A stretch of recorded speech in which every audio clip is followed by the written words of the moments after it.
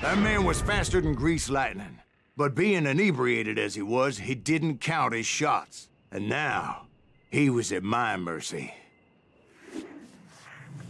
So he didn't die?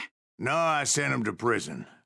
Years later, after he was free, some restless avenger took his life.